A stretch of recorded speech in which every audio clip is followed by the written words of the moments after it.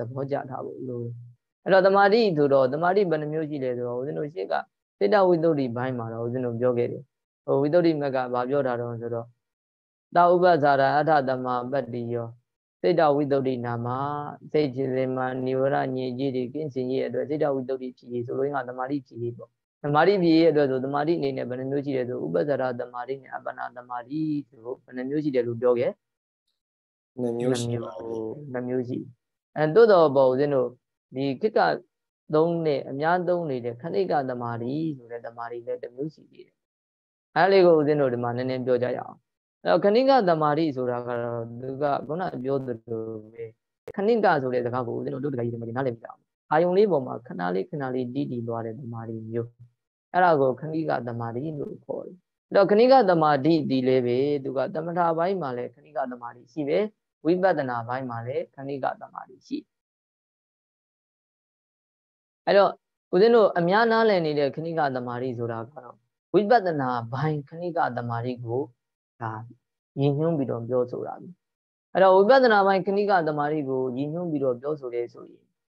သူကအဲ့တမာတိကတော့အစဉ်တန်းမြင့်ရုပ်တည်နံတွေကိုဥစွာပထမသိပြီးသားဖြစ်နေရ ရုပ်တည်နံတွေကိုသိပြီးသားဖြစ်နေတဲ့သူတော်ကောင်းတယောက်ကအဲ့ရုပ်တည်နံတွေကိုတင်ပြီးတော့လက္ခဏာရေးသုံးနံတင်ပြီးရှုနေတဲ့အခိုက်ကလေးမှာလည်းပဲလက္ခဏာရေးသုံးနံတင်တဲ့အခါမှာတမာတိကဥပ္ပဇ္ဇာတမာတိလောက်ကြီးအာအာမကောင်းတော့ဘူး။နောက်အပ္ပနာတမာတိလည်းဝိပဿနာရှုနေတဲ့အခါမှာမဖြစ်နိုင်တော့ဘူး။အဲနားလည်အောင်ထပ်ပြောမယ်ဆိုလို့ရှိရင်ဆိုကြပါစို့အဲယောဂီသူတော်ကောင်းတယောက်ကဝိပဿနာခဏိကသမာဓိအပိုင်းအနေနဲ့ပြောမယ်ဆိုရင်ပေါ့အဲယောဂီသူတော်ကောင်းတယောက်ကသူကဇန်ယာပိဒသူတော်ကောင်းဖြစ်ခဲ့ရင် အဇံကိုဝင်စားလိုက်တယ်ဆိုကြပါစို့အာနာပါနာကိုအထုတ်တဲ့သူတော်ကောင်းအာနာပါနာနဲ့ပရမဇံဝင်စားတယ်အဲဇံဝင်စားနေခိုက်ပေါ့ဇံဝင်စားခင်ခုနအာနာပါနာပြိပါကနိမိတ်ကြည်လင်တောက်ပနေတဲ့ပြိပါကနိမိတ်ကိုအောင်ယူနေတဲ့အခိုက်မှာဒါဥပ္ပသရသမာဓိလို့ခေါ်တယ်။ဟောပြီးတဲ့အခါကျတော့မှဇန်စိုက်သွားပြီဇန်သောကြသွားပြီဆိုရင်တော့ဒါအပ္ပနာသမာဓိပေါ့သမာဓိဖြစ်သွားပြီ။အဲဇန်သောစိုက်သွားပြီးတဲ့နောက်မှာမကဲဇန်ကထပြီဇန်ကထတဲ့အခါဇန်တန်တရားတွေကိုပြန်သိသိတော့အဲ့မှာဇန်ကထလိုက်တယ်ဆိုတဲ့ကောကတကကြီးတကမိုက်ဒီ ဇန်သမာဓိရှိသေးလားမရှိတော့ပါဘူးဗျာမရှိတော့အော်ဇန်သမာဓိတော့မရှိတော့ဒါပေမဲ့အဲ့ဇန်တန်တရားတွေကိုပြန်ပြီးတော့သိသိတယ်ပေါ့ဆိုကြပါစို့ဇန်တန်တရားတွေကဥမာဖတ်တာဝေဒနာစသည်အပြင်ဒီလိုသိသိလိုက်တယ်အဲ့ဖတ်တာဆိုတဲ့ဒီပရမတ္တဓာတ်လေးကိုဉာဏ်နဲ့သိသိပြီးသူ့ကိုလက္ခဏာကြီးသုံးတဲ့တင်ရှုတယ်အဲ့ဖတ်တာကကမမြဲမှုကိုကြည့်ပြီးတော့ပဲအနိစ္စဖြစ်အနိစ္စလို့ရှုမယ်အဖြစ်ချင်းပြချင်းတန်ချက်ပြနှိမ့်ချက်နေတဲ့အတွက်ကြောင့်ဆင်းရဲတယ်ဒုက္ခလို့ရှုမယ်အခြေခဲခိုင်မှာနှစ်သာရပြင်ဒီတက်မနေတဲ့ကြောင့်အစိုးမရဘူး တခါလေခိုင်မှာနှစ်သာရမရှိဘူးအစိုးမရဘူးဆိုပြီးအနတ္တလို့ရှုအဲ့တော့ဒီဇဏတရားကိုရှုလိုက်တာရှုတဲ့ချိန်မှာအဲ့ဖတ်တာလေးကခုနလင်းလင်းမြန်မြန်ကြီးပြည့်ပြည့်နေတာလေးတကယ်ကြီးတကယ်မိုက်တွေဝိပဿနာရှုတယ်ဆိုတဲ့အပိုင်းလေးမှာတေချာကြည့်ကြည့်ဝိပဿနာရဲ့ရှုကအာယုံဖြစ်နေတဲ့ဒီခုနဇဏဓမ္မလို့အမိရတယ်ကိုကဖတ်တာကိုကြည့်ရင်ဖတ်တာတစ်လုံးနဲ့ကြည့်ကြည့်ပေါ့သို့မဟုတ်ဇဏဓမ္မအားလုံးကိုခြုံပြီးတော့တခါလေဇဏန်တရား34လုံးပရမဇဏန်တရား34လုံးကိုပဲရှုရှုပေါ့လေ အဲ့ပရမဏဓာလာတွေဒီလင်းလင်းမြန်မြန်ကြီးဖြစ်နေမှာပဲဘယ်လောက်လင်းမြန်လဲဆိုခုနဂရေတသိန်းတစ်စက္ကန့်ကိုဂရေတသိန်းလောက်ပုံလို့ရှိရင်တပုံလောက်ပဲတက်တန်းရှိလင်းလင်းမြန်မြန်ကြီးဖြစ်နေတာအဲ့တော့ဒီအရှုခံအာယုံကိုကလင်းလင်းမြန်မြန်ကြီးဖြစ်နေတဲ့အတွက်ကြောင့်အဲ့အာယုံပေါ်မှာဒကာကြီးတွေဒကာမကြီးတွေအဲသမာဓိလေးတီးနေအောင်အချိန်ကြာကြီးသွားပြီးတော့ထားလို့ရပါမရနိုင်ပါဗျာမရနိုင်အထို့တူပဲတခါသူ့ကိုလက္ခဏာကြီးသုံးတဲ့တင်းနေတဲ့အတွက်ကိုကကိုက အနိစ္စလို့တင်းပြီးဒုက္ခလို့တင်းမယ်အနိစ္စလို့တက္ကတက္ကတင်းမလားအနိစ္စလို့တင်းပြီးဒုက္ခလို့တင်းမယ်သူကဖြစ်တာဖြစ်တာကိုကြည့်ပြီးတော့ကိုကတင်းနေရတာဖြစ်တဲ့အတွက်ကြောင့်လေအဲ့မှာအချိန်ကြာကြီးစိတ်ကတည်ကြီးနေလို့မရအောင်ခဏလေးခဏလေးတော့တည်တည်သွားတယ်ခဏလေးခဏလေးတည်ရဆိုတော့ဒီအာယုံကိုဖန့်ဖန့်ပြီးတော့ယူနိုင်တယ်ကောင်းကောင်းယူနိုင်တယ်လို့ပြောချင်တာပေါ့အဲ့ဒါကိုခဏိကသမာဓိအဲ့တော့အဲ့ခဏိကသမာဓိကဒါကဟိုဟိုသမထယာနိကပုံကုံနေနဲ့ဇံကိုရထားတဲ့သူတော်ကောင်းတယောက်ကသွားတဲ့လမ်းကြောင်းကိုပြောတာ အဲ့တော့အဲ့လိုမျိုးဇံကိုရပြီးမှဇံမထထပြီးတော့မှဇန္နတရားကိုဖန်ဖန်သိသိပြီးတော့လက္ခဏာကြီးတင်းနေတဲ့အခိုင်လေးခိုင်လေးမှာခဏလေးခဏလေးဒီအာယုံဝိပဿနာရဲ့အရှုခံအာယုံလေးပေါ်မှာတီးတီးတီးတီးသွားတဲ့ဒီတမာတိကိုဒါခဏိကတမာတိလို့ဘယ်လိုခေါ်လဲအကယ်၍ဒါဆိုရင်ကဲဒီပြောလို့ကဇံမရတဲ့ပုံကိုယ်တွေအတွက်ကောဗျာဆိုဇံမရတဲ့ပုံကိုယ်တယောက်ကလည်းဆိုကြပါစို့ရုပ်တင်တန်တွေကိုသိချောသိသိတတ်နေရမယ် အဲရုပ်တဲ့နံတွေကိုသိသိတတ်တဲ့သူတော်ကောင်းဖြစ်ရင်ရှေ့ကတည်းကကိုကရုပ်ဆိုလဲရုပ်တရားကိုသိသိတတ်တယ်နံဆိုလဲနံတရားကိုသိသိတတ်တဲ့သူတော်ကောင်းတယောက်ကအခုဒီမှာဝိပဿနာဘိုင်းကိုရောက်လို့ရှုပွားသုံးတတ်တော့မယ်ဆိုရင်ဥစွာပထမကိုကဆိုကြပါစို့နံတရားကိုသိသိမလားရုပ်တရားကိုသိသိမလားဒါကတော့ယောဂီရဲ့ရွေးချယ်မှုတာဖြစ်တယ်အကယ်၍ဆိုကြပါစို့ရုပ်တရားကိုသိသိမယ်ဆိုရုပ်တရားကိုသိသိနိုင်တဲ့တမာတိသူ့မှာရှိပြီးသားဖြစ်နေရတယ်အဲ့ဒါကခုနဟိုဇံမရထားတဲ့ပုံကိုဆိုရင်ခုနဥပဒရာတမာတိလောက်တက္ကမထန်နဲ့ဥပဒရာတမာတိ ဒီဂရီလောက်ရှိတဲ့သမารိကိုရထားတယ်ရထားတော့မှရုပ်တွေကိုကိုယ်ကိုယ်ပြပြနဲ့သိသွားပြီယုတ်ကလတ်တွေကိုမြင်တယ်ယုတ်ကလတ်တွေကိုဓာတ်ခွက်ကတက်တယ်ယုတ်ကလတ်တွေမှာရှိတဲ့ပရမတ်ယုတ်ကလတ်တစ်ခုတစ်ခုမှာရှိတဲ့ပရမတ္တဓာတ်သားကိုကိုကသိနေပြီပတဝီအဘောတေသောဝါယောဟနာကန္နာတတဩဇာတို့ဒီနေ့ဆုံးရှင်မျိုးအကိုမျိုးဒါတွေကိုကိုကနားလည်နေပြီအဲနားလည်နေတဲ့သူတော်ကောင်းတယောက်ကကောင်းပြီပတဝီကိုရှုမယ်ဟိဆိုတော့ဟောအဲ့တမာရီလေးခံပြီးတော့ဥပဒရာတမာရီလောက်တော့အကောင်းတဲ့တမာရီလေးခံပြီးတော့မှအဲ့ယုတ်တရားကိုဖန်ကြံနေသိသိ ဟောသိသိပြီးတဲ့အခါအဲ့ယုတ်တရားကိုလက္ခဏာရေးသုံးတယ်တင်ပြီဆိုတဲ့အခါကျတော့ခုနပတဝီပဲဆိုကြပါစို့ပတဝီကိုညံလေးနဲ့စိုက်ကြည့်ပြီးအဲ့ပတဝီကခုနမမြင်မှုသဘောကိုကြည့်ပြီးအိဋ္ဌာလို့တင်လိုက်တယ်သူလည်းပဲခုနဘလောက်တောင်မြန်းနေတဲ့သူဒီယုတ်သဘောတရားကတစ်စက္ကန့်ကိုဂရိ9000လောက်ပုံတပုံလောက်ပဲတက်ရှိတယ်လင်းလင်းမြင်ကြီးပြစ်ပြီးပြက်သွားတယ်အဲ့လင်းလင်းမြင်ကြီးပြစ်ပြီးပြက်သွားတဲ့ဒီပရမတ္ထအာယုံကိုအာယုံပြုတ်ပြီးတော့အဲ့လင်းလင်းမြင်ကြီးပြစ်ပြီးတော့ပြက်နေတာကိုကြည့်ပြီးတော့အိဋ္ဌာမမြဲပါလား။ အဖြစ်ချင်းပြက်ချင်းတန်ချက်ပြင်းနှိမ့်ချက်တဲ့တို့ကြောင့်ဆင်းရဲတဲ့ဒုက္ခပါလား။အခြေခဲအခိုင်မှာနှစ်တလားပြင်တည်တတ်မနေဘူးအစိုးမရဘူးအနတ္တပါလားဆိုဒီလိုလက္ခဏာကြီးသုံးတယ်တင်ရှု။အဲ့တော့အဲ့လိုရှုနေတဲ့အခိုက်မှာတခါကြီးဒီမကြီးစဉ်းစားကြည့်အဲ့ပရမတ္ထအာယုံပေါ်မှာစိတ်ကအကြာကြီးတည်နေပါမတည်နိုင်ပါဗျာတည်မနေဟုတ်တယ်အဲ့လိုတည်မနေနိုင်ဘူးသူကခဏလေးခဏလေးပဲအောင်ကိုယူရမြတ်မတ်တယူလိုက်လက္ခဏာတင်လိုက်နောက်လက္ခဏာပြောင်းတင်နောက်လက္ခဏာပြောင်းတင်ဒီလိုတင်တဲ့အတွက်ကြောင့်ခဏလေးခဏလေးဒီ ဝိပဿနာရဲ့အရှုခံအာယုံပေါ်မှာစိတ်ကလေးကတီးတည်သွားတယ်အဲ့ဒါကိုခဏိကသမတိကိုခေါ်တယ်ဒါဝိပဿနာပါအမေယနေ့တို့တကကြီးတွေတကမကြီးတွေအများသုံးနေတဲ့အဲ့ခဏိကသမားကြီးအဲ့ဝိပဿနာဘိုင်းကိုညွှန်ပြီးတော့ပြောတယ်အဲ့တော့ဝိပဿနာဘိုင်းကိုညွှန်ပြောတယ်ဆိုခဲ့ရင်ပေါ့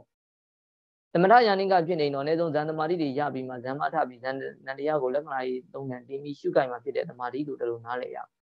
အကယ်၍သမထယာနိကမဟုတ်လို့ ဒါသုဒ္ဓတနည်းအားဖြင့်ဒုက္ခဝိပဿနာယာနိကပုဂ္ဂိုလ်ဖြစ်လို့ဝိပဿနာကိုတက်ရိုက်သွားတဲ့သူတော်ကောင်းဖြစ်ရင်တောင်မှပဲသူကဥသောပရမယုံနံပရမတ်တွေကိုသိသိနိုင်တဲ့ယုံနံပရမတ်တွေကိုထိုးထုံထိုးနဲ့သိမြင်နိုင်တဲ့တမာတိကတော့အခြေခံရှိကိုထားရဥပဒရာတမာတိရှိပြီးကမှအဲ့ဥပဒနာတမာတိကိုအခြေခံလို့ယုတ်တိနန္ဒီကိုသိပြီးမြင်ပြီးဆိုပါမှ အဲ့ယုံနံဒီကိုလက္ခဏာကြီးသုံးနံတင်ပြီးတော့ရှုပွားခိုင်မှာဖြစ်နေတဲ့ခဏခဏလေးတည်တည်သွားတဲ့တမာတိကိုဒါခဏကတမာတိကိုဒါဝိပဿနာပါဒါကြောင့်မလို့တခါကြီးဒီကမိုက်ဒီဝိပဿနာဘိုင်းကိုသွားရေးအတွက်ကအခြေခံကခုနတမာတိရှိဖို့ကိုဒါကြောင့်မလို့ဒီဝိသုဒ္ဓိမနဲ့တကဝပေါ့ဒီထာဂရတော်တော်များများကဘာကိုဖွင့်လို့ဆိုတဲ့အခါစိတ္တဝိသုဒ္ဓိဘိုင်းကိုဖွင့်တဲ့အခါမှာခဏိကတမာတိကိုထည့်မထားဘူး။နောက်ဥပ္ပစာရအထသမပတ္တိယောဆိုပြီးတော့ ဒါတက်တက်ပြောမယ်ဆိုရင်ဥပ္ပစာရတမာတိနဲ့အပနာတမာတိလို့ဒီလိုပဲပြောတယ်။ဘာကြောင့်လို့ဆိုတော့ဥပ္ပစာရတမာတိနဲ့အပနာတမာတိဒီတာလျင်ယုတ်ပရမတ်နံပရမတ်ဒီဟုသောပရမရဓာတ်တွေကိုသိနိုင်နိုင်မှာဒီဥပဒနာတမာတိအ ਨੇ ဆုံးရှိရမယ်သို့မဟုတ်ဇန်တမာတိရှိပါမှသိနိုင်နိုင်တယ်။တို့အတွက်ကြောင့်သူကဝိပဿနာဘိုင်းကိုသွားတော့မယ်ဆိုရင်ဥပဒနာတမာတိအပနာတမာတိကိုအခြေခံပြီးသွားရတယ်လို့ဒီလိုပြောခြင်း။ဒါကြောင့်မလို့စေတဝိသုဒ္ဓိမှာတခါကြီးကြည့်ကြည့် ထာဂရာဆရာတော်များကဖွင့်တဲ့အခါမှာခဏိကတမာတိကိုထည့်ဖွင့်မထားဘူး။ဒါပေမဲ့ခဏိကတမာတိကိုသုံးထားတာကခုနပြောတဲ့ဟိုဝိပဿနာဘိုင်းအတွက်တော့ဦးဇင်းကပြောခဲ့တဲ့အတိုင်းပေါ့ဟိုတမာရန်စိတ်တန်ဆိုတဲ့အာနာပါနာကဒီစတုတ်ကလေးမျိုးထဲမှာထည့်ပြီးတော့သမာဓိစိတ်တန်ဆိုတဲ့အပိုင်းမှာဒါခဏိကသမာဓိဆိုတဲ့စကလုံးကိုသုံးထားတာတနည်းရှိနောက်ဗမာရှိတုံဆိုတဲ့အခါကျတော့ဦးဇင်းတို့ဒီပရမဇန်မို့ဖွင့်နေပရမဇန်ကို ဝိဇေဝကာမေဝိဇာအကုသတိဓမိတောတကံတောဝိဇာတံဝိကဇံပိတိတုခံအဝိကဇံပိတိတုခံတမာတိဇံဆိုပြီးအဲ့ဒီအပိုင်းမှာဒီတမာတိနဲ့ပတ်သက်လို့ဖွင့်တဲ့အပိုင်းပေါ့အဲ့ဒီအပိုင်းမှာဒီခဏိကတမာတိဆိုတဲ့စကလုံးတစ်လုံးလေးထည့်ပြီးတော့သုံးထားတာကြည့်ဒါဦးဇင်းတို့ကျေးဇူးတော်ရှင်ပေါ့ဆရာတော်ကလည်းအာနာပါနဒီတုတ်တံမှာပေါ့အာနာပါနတတိတုတ်တံမှာဒါလေးကိုဒါထည့်ပြီးတော့ဟိုဟို ခဏိကတမာတိဆိုပြီးတော့ဒါလေးကိုထည့်ပြီးတော့ပြောဟောဟောကြားထားတာရှိပါတယ်အဲ့တော့အဲ့မှာဦးဇင်းတို့ဒုဒကကြီးဒကမကြီးကြည့်ကြည့်အဲကြည့်ကြည့်တဲ့အခါကျတော့သူကဘာပြောထားလို့ဆိုတဲ့အခါကျတော့ဝိသုဒ္ဓိမဲ့ဟိုပထမအုပ်ပေါ်လေးသာမဏ140မှာအဲသူကဘာပြောထားလို့ဆိုတဲ့အခါကျတော့ဒီတမာရီအစဉ်စဉ်ဖြစ်လာပုံပေါ့နော်တမာရီအစဉ်စဉ်ဖြစ်လာပုံဒီပထမဇန်ကိုဖွင့်နေခါတမာရီအစဉ်စဉ်ဖြစ်လာပုံဘာနည်းမှာဘာပြောထားလို့ဆိုတဲ့အခါကျတော့ဒုက္ကံကပ္ပံကဏန္တံ ပရိပါဒံကိစ္ဆန္တံတိဝိဒံတမာရိပရိပူရတိခဏိကတမာရိဥပစရတမာရိအပနာတမာရိတိဆိုပြီးတော့ဟိုးရှိကနေပြီးတော့ပီတိဖြစ်လာမယ်အဲပီတိဆိုတဲ့ကိုဝင်ကရင့်ကျက်လာတဲ့အခါမှာအဲကာယပတ္တရိစိတ်တပတ္တရိဆိုတာဖြစ်လာမယ်အဲကာယပတ္တရိစိတ်တပတ္တရိဆိုတဲ့ကိုဝင်ရင့်ကျက်လာတဲ့အခါရင့်ကျက်လာဆိုအားကောင်းလာရင်ပေါ့အားကောင်းလာတဲ့အခါမှာဘာဖြစ်မလို့အာကာယဒုက္ခစိတ်တဒုက္ခဆိုတဲ့ဒီကာယိကကာယိကင်ဒုက္ခံပရိဘူရိတိကာယိ ကာယိကင်္စာစေတသိက်ကင်္စာဆိုတော့ကာယိကဒုက္ခစေတသိကဒုက္ခဖြစ်လာပြီအဲအဲဒီဒုက္ခကဒုက္ခဆိုတဲ့ကိုယ်ဝင်ကရင့်ကျက်လာတဲ့အခါမှာတမာတိ၃မျိုးဖြစ်တယ်လို့တို့ပြောတာအဲ့တော့ပြောချင်တာကဘာပြောတုံးဆိုတော့ပြည့်ကြတော်များကဘာသာပြန်တဲ့အခါမှာပီတိကဒါကပတ္တတိပတ္တတိကဒါက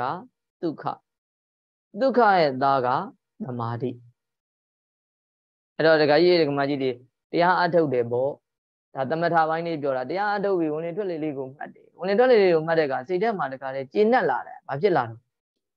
ပီတိဖြစ်လာတာဗျာပီတိဖြစ်လာတာဒီထဲမှာကျဉ်တ်နဲ့တရားလေးအထုတ်ရတာအဲ့တော့ဒကာကြီးတွေမှာတကြောင်မလို့ဒကာလေးမှာပြောတာဟိုယောဂီတွေကိုဦးဇင်းတို့တရားဆွေးနွေးတဲ့အခါမှာတရားအထုတ်နေရတာဝင်လေထွက်လေလေးသိနေရလားပျော်လားလို့မေးဒကာလေးသူတို့ကရည်တရားလို့ထင်တာဟုတ်လား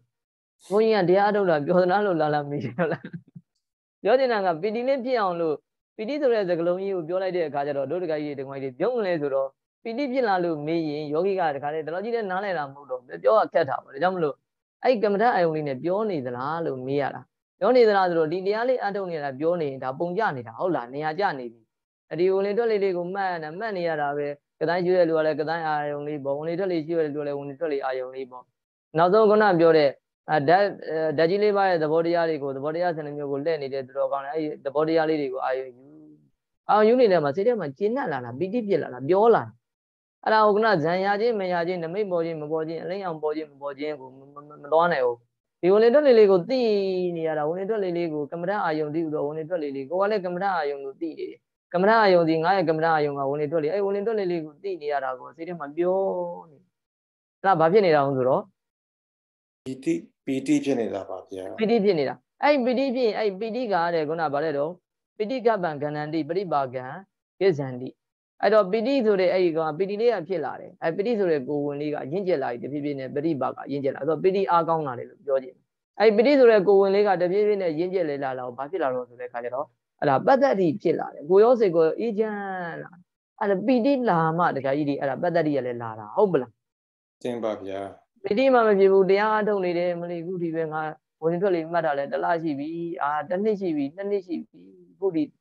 တရားကလည်းရှေ့ကိုမရောက်ဘူးမရောက်ဆိုအဲဝင်လင်ထွက်လေးမှတ်နေတာစိတ်ထဲမှာအလိုလိုကိုအလိုမကျဖြစ်လာတယ်ဝမ်းမမြောက်တော့ဘူးဘယ်ကပတ္တရိလာတော့မှလည်းမလာတော့ဘူးဒါအောင်မလားလာပါဦးမလားတခါကြီးမလာတော့ပါဘူးဗျာမလာတော့ဘူးအဲ့ဒါဒါတရားအထုတ်တဲ့ယောဂီကတရားကိုနားလည်ဖို့လိုတယ် အဲ့တော့ကိုကဝင်လင်ထွက်လေဆိုတဲ့ကမ္မထအာယုံလေးသိနေရရင်ကိုမှဒါကဟိုကိုအလုပ်ကိုကိုကောင်းကောင်းလုပ်နိုင်ရင်အဲ့မှာကျင့်တတ်နေရဒါမှပီတိဖြစ်ပီတိဖြစ်ရင်ဘာမလို့ဘာဖြစ်မလို့အဲ့ပီတိဆိုတဲ့ကိုဝင်ရင်းကျက်လာတဲ့ခါမှာပတ္တတိဖြစ်လာအဲ့ပတ္တတိဖြစ်လာပြီးစိတ်တဲ့ကောင်ကိုရောစိတ်ကိုအေးချမ်းနေတဲ့တရားအထောက်ပတ္တတိဖြစ်အဲ့ဒီပတ္တတိကပတ္တတိဆိုတဲ့ဒီကိုဝင်ကရင်းကျက်လာပြန်ပြီဆိုဘာဖြစ်လာမလို့သူကကိုရောစိတ်ကိုတခါလေချမ်းသာလာအဲ့ဒါကြောင့်မလို့တခါလေးတခါကြီးတခါမကြီးဒါ ဟိုကို့မှလည်းအတွေ့အကြုံရှိသူတချို့တချို့ယောဂီတွေပြောတာလဲတို့တခါကြီးတွေတခါကြီးကြားဖို့မှာပေါ့ကိုကိုတိုင်းနဲ့တွေ့ဘူးမှာပေါ့ဘုရားအထောက်ကတခါလေးချမ်းသာလိုက်တာမရှိဘူးလားရှိပါတယ်ဗျာရှိမှာပဲအဲ့ဒါပါလဲဆိုတော့ तू ကရှေ့ကပတ္တတိဆိုတဲ့ကိုဝင်ရင့်ကျက်လာတဲ့အခါမှာခုနဒုက္ခဆိုတဲ့ဒါဟိုသာသမီကိုမွေးမွေးထုတ်လိုက်တာပေါ့အဲ့တော့ဘာဖြစ်တော့ပတ္တတိဆိုတဲ့ကိုဝင်ရင့်ကျက်လာတဲ့အခါမှာချမ်းသာလာအချမ်းသာလိုက်တဲ့ဒုက္ခဖြစ်တဲ့ကိုရောစိတ်ကိုချမ်းသာနေ အဲ့ချမ်းသာတာကခုနပြောတယ်ဘာအာယုံနဲ့မှလဲလို့မရဘူးကာမဂုဏ်အာယုံတွေနဲ့အစင်းကောင်းကောင်းအစင်းလာလာလေးကိုမြင်ရလို့အတန်ကောင်းလေးကိုနားထောင်ရလို့အနံကောင်းလေးကိုနမ်းယူရလို့တရားသာကောင်းကောင်းလေးကိုစားစားလိုက်ရလို့ဆိုတဲ့အတွေ့အထိကောင်းလေးကိုတွေ့ထိရလို့ဆိုတဲ့အတွေ့အဲ့ကာမဂုဏ်အာယုန်လေးနဲ့မတူသောအချမ်းသာမှုလေးကိုရောစိတ်ကိုချမ်းသာနေအချမ်းသာပြီဆိုတဲ့အခါမှာဘာဖြစ်မလို့အဲ့ဒုက္ခဆိုတဲ့ဒုက္ခံကပ္ပံ ကဏ္ဍတံပရိပါကံကိစ္ဆန္တံတိဝိဒံတမ္မာရင်ပြိပူရိတိဟောအဲ့လက်ကြကြောင့်ဒုက္ခလေးလည်းဖြစ်လာပြီလေဆိုအဲ့မှာသုံးပါသောတမာတိဖြစ်တယ်သုံးပါသောတမာတိဖြစ်တယ်ဆိုတော့ဒီညမှာတော့အာနာပါနကမ္မဋ္ဌာန်းလေးနဲ့ပြောရင်တော့ပို့ပြီးနားလည်တာပေါ့နားလည်တယ်နားလည်တယ်ဆိုတဲ့အခါကျအာနာပါနကမ္မဋ္ဌာန်းလေးကိုအားထုတ်တယ်တော်တော်လေးဝင်လေတွက်လေးတွေကိုမှတ်ကောင်းနေပြီ မှတ်ကောင်းနေတဲ့အခါမှာတပြေးပြေးနဲ့ဦးဇင်းတို့နမိတ်ကလေးတွေပေါ်လာတာနော်ပရိကာမနိမိတ်ဩဃနိမိတ်ပရိဘာဂနိမိတ်ဆိုနမိတ်ဒီလိုသုံးမျိုးပေါ်အဲ့တော့မူလစပြီးမှတ်နေတဲ့ဝင်လေထွက်လေကိုကပရိကာမနိမိတ်ပဲပရိကာမနိမိတ်ဝင်လေထွက်လေအာယုံလေးဒီပရိကာမနိမိတ်အဲ့ဒီကနေပြီးတော့ခုနအကယ်၍မြတ်ပေါ်လေအစဉ်တိုင်းလေးဟိုယောဂီကတတိတိထားမိလို့တိသွားရင်နော်အဲ့ပရိကာမနိမိတ်ကနေတပြေးပြေးနဲ့ခုန တခါလေမိကိုရောင်လေးကျင့်လာဒါလည်းပရိကာမနိမိတ်အဲ့ကနေစွတ်စွတ်ချူလာတဲ့ဥက္ကနိမိတ်အဲ့ကနေပြီးတော့တခါလေကြည်လင်တောက်ပလာတယ်ဒါပရိဘာကနိမိတ်အဲ့တော့ဝင်တွက်လေးဒီလေပရိကာမနိမိတ်အဲဝင်ထွက်လေးလေးကိုခုနယူပါသုံးတာလို့တော်တော်လေးတမာကြီးလေးဖြစ်လာတဲ့ကောင်ကလည်းဝင်ထွက်လေးလေးကညစ်ထက်တက်ကလေးနဲ့ကလည်းညာထဲမှာထင်းထင်းရှားရှားလေးဖြစ်လာတယ်ဒါလည်းပရိကံမှာနေမိတ်အဲ့ပရိကံမှာနေမိတ်အခိုက်ကိုပဲပြောတယ်ဒါ ခဏိကတမာတိဘာဖြစ်လို့လဲဆိုတော့ဝင်ထွက်လေးကိုသိနေတဲ့အခါဒီပရိကံမှာနေမိတ်ဆိုတော့တခါကြီးဒီကမိုက်ကြီးစဉ်းစားကြည့်ဝင်ထွက်လေးကိုတို့တခါကြီးဒီကမိုက်ကြီးဟိုကြိုးစားပြီးတော့မှတ်နေတဲ့အခါမှာဝင်ထွက်လေးအာယုံလေးတော့ခဏလေးခဏလေးသိမသွားဘူးလား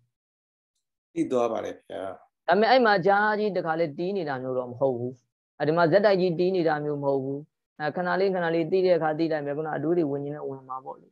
အစစ်ကဟိုအာယုံဒီအာယုံလေးရောက်ချင်းရောက်သွားမှာအဲဒါပေမဲ့လည်းဝင်လေတွက်လေတွေကိုတော့လုံးလုံးလွတ်သွားလာဆိုဝင်လေတွက်လေအာယုံလေးကိုလည်း ပြန်ပြန်ပြီးတော့ခဏလေးခဏလေးတီးတီး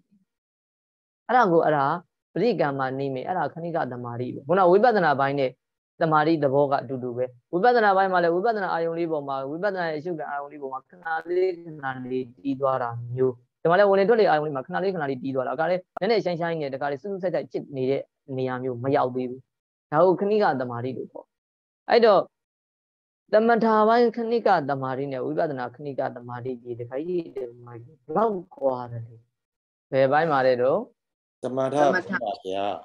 သမထပိုင်းမှာအဲ့ဒါကဗာလဲမိတဲ့အခါကျခုနဝင်နေထွက်လေးလေးကိုသိတယ်ဝင်နေထွက်လေးကိုသိလို့စိတ်ထဲမှာခုနလိုပေါ့အပီတီလေးဖြစ်ဝမ်းမြောက်ဝမ်းသာလေးအဲအဲ့ဒါမျိုးလေးဖြစ်နေတဲ့အခါအဲ့မှာဒီတမာရီလေးတွေဖြစ်လာပေါ့အာယုံလေးပေါ်မှာစိတ်ကလေးကတီးတာတယ်ခဏလေးခဏလေးတီးတယ်သူ့ကိုခဏိကတမာတိခေါ်တယ်အဲသူကနေရင့်ကျက်လာမှ အဲခဏိကတမာတိကနေရင့်ကျက်လာတော့မှအာယုံမှာတကယ်ကိုစွစွမြင်းမြင်းနဲ့ခုနဇိုင်ငါပေါ့ဝိတဝိသရာပရိတုကဣကကရာလို့ခေါ်တဲ့ဇိုင်ငါ၅ပါးလဲအားကောင်းလာပြီအဲအားကောင်းလာပြီးတော်တော်လေးကိုတခါတည်းဒီဥဒေဥဇာရပတိတုကဧကဂရဆိုတာဇိုင်းငါတွေကလည်းအလုတ်လုံနိုင်လာပြီဒါဆိုရင်ဥပသရသမာဓိကိုကူးပြီးအဲရနေပြီးကမှတဆင့်တက်ပြီးတော့မှတခါတည်းဇန်သမာဓိစိုက်တော့အပနာသမာဓိပေါ့နော်အပနာသမာဓိကိုစိုက်တယ်အဲ့လိုသမာဓိ၃မျိုးရှိတော့ခဏိကသမာဓိဆိုတဲ့ သမထဘိုင်းမှာသုံးတဲ့အသုံးဒီအင်မတန်မှဟိုနုနယ်တယ်အဲခဏတာမြခဏတာမြအာယုံကိုယူကာမြမတ္တတိဒါခဏိကသမာဓိဒီလိုသုံးပြီးတော့သူ့တဲ့အစင်းမြင်လာရင်ဥပ္ပစာရသမာဓိသူ့တဲ့အစင်းမြင်တော့မှဇန်သမာဓိလို့ဒါလိုသွားတယ်ဟိုဝိပဿနာပိုင်းမှာသုံးတဲ့ခဏိကသမာဓိအနေနဲ့ကတော့အင်မတန်အစဉ်တန်းမြင်ပါတယ်အဲ့မှာမသိခင်ဒီဝိပဿနာပိုင်းမှာခဏိကသမာဓိမရောက်ခင်ကိုကဥစ္စာပထမရုပ်တည်ဉာဏ်လေးကိုသိနေဖို့ဆိုတာဥပ္ပစာရသမာဓိအနည်းဆုံးအစစ်ရှိရမယ် သို့မဟုတ်ဇန်သမာဓိရှိပြီးပါမှရုပ်တည်ဉာဏ်လေးကိုသိရုပ်တည်ဉာဏ်လေးကိုသိတဲ့သူတော်ကောင်းမှဝိပဿနာတင်ပြီးတော့လက္ခဏာကြီးသုံးတန်တင်ရှုတဲ့အခါမှာဒါခဏိကတမာရီလို့ပြောတယ်လို့ဒီလိုနားလည်ပြီးတော့ဒီဝိပဿနာပိုင်းမှာသုံးတဲ့ခဏိကတမာတိရဲ့အပနာသမထဘိုင်းမှာသုံးတဲ့ခဏိကသမာဓိကိုကိုယ်ပြပြနားလည်မယ်ဆိုရင်တော့တို့တကကြီးတွေတကမာကြီးတွေအတွက်များစွာမှ ပြည်သူများမှာဖြစ်တယ်လို့မိမိတို့ကိုယ်တိုင်လေဝေခွဲဆုံးဖြတ်ချက်ချနိုင်မှာဖြစ်တယ်ဒီတော့ဒီသမာဓိဒီဘာလဲလို့မေးတော့ပညာရဲ့နှီးစွာသောအကြောင်းဘာရဲ့နှီးစွာသောအကြောင်းပညာရဲ့နှီးစွာသောအကြောင်းပါဗျာအဲပညာရဲ့နှီးစွာသောအကြောင်းတမာတိကိုပြောပါဆိုလို့ရှိရင်ခုနပြောတဲ့အဓိကအပြင်ဦးဇင်းတို့ယူရမှာကအဲဒါဥပ္ပဇာရတမာတိနဲ့အပနာတမာတိဘာနဲ့ပါတယ်ဥပ္ပဇာရတမာတိနဲ့အပနာတမာတိပါဗျာ။ အားကြောင့်လို့ဆိုတော့ခုနစေတဝိတ္တုကိုဖွင့်ဆိုတဲ့ဒါဂရာဆရာတော်မြတ်ကတာဥပ္ပဇာရအထသမပတ္တိယောလို့ပဲသုံးထားတဲ့အတွက်ကြောင့်အဲဥပ္ပဇာရသမารိနဲ့အပနာသမารိကယုတ်တိဏ္ဍိကိုကိုယ်ကိုယ်ပြပြနဲ့ထိုးထွင်းသိမြင်စေတတ်သောပညာရဲ့နှိသွားသောအကြောင်းဖြစ်ပြီးတော့အဲပညာကိုရပြီဆိုတော့မှဉာဏ်ပညာနဲ့ယုတ်တိဏ္ဍိကိုသိတဲ့အခါထိုယုတ်တိဏ္ဍိကိုတဆင့်တက်ပြီးတော့ဝိပဿနာရှုတဲ့အခိုက်မှာတော့ခဏလေးခဏလေးတည်သွားတာကိုလည်းဒါဝိပဿနာပိုင်းကခဏိကသမာဓိအဲသို့မဟုတ်လို့အပနာအပနာပိုင်းမှာတော့သမထပိုင်းမှာတော့ အဲအဲ့တော့ဥပဒရာသမာဓိကြီးလောက်မရင်ကျက်သေးတော့တရင်ကတရင်ကခဏတာခဏတာတီးတီးသွားတာကိုလည်းခိကသမာဓိလို့ခေါ်တယ်လို့လို့သဘောကျသို့တော့ဒီမှာပညာရဲ့နှီးစွာသောအကြောင်းဖြစ်တဲ့သမာဓိဒီတော့အထူးသဖြင့်ဦးဇင်းတို့စိတ်တဝိတ္တုဒီဘိုင်းမှာဖွင့်ဆိုထားတဲ့အဲ့ဒါဥပ္ပဒရာသမာဓိနဲ့အပနာသမာဓိကိုယူရမယ်လို့ဒီလိုသဘောကျနားလည်ပြီးတော့အဲ့ဒါဒီပညာရဲ့လက္ခဏာတတပစ္စုပ္ပတ္တံပဋ္ဌထံဒီလေးချက်ကို အာကောကောပြပြနဲ့ရှုပွားသုံးသပ်နိုင်အောင်ကြိုးစားအထောက်ကြရမှာဖြစ်တယ်အဲ့လိုကြိုးစားအထောက်တဲ့အပိုင်းမှာပညာရဲ့ဤသောသောအကြောင်းမှာဒီသမာဓိကိုလေးပဲပညာရဲ့ဤသောသောအကြောင်းလို့ဒီလိုနားလည်ပြီးတော့ပညာရဲ့လက္ခဏာတတပစ္စုပ္ပတ္တံပဋ္ဌထံကိုကိုယ်စီကိုယ်စီကြိုးစားရရှိအောင်ကြိုးကိုယ်စီကိုယ်စီကြိုးစားအထောက်နိုင်ကြကုန်ညာတည်းသာဓု သာဓုသာဓုပါဗျာ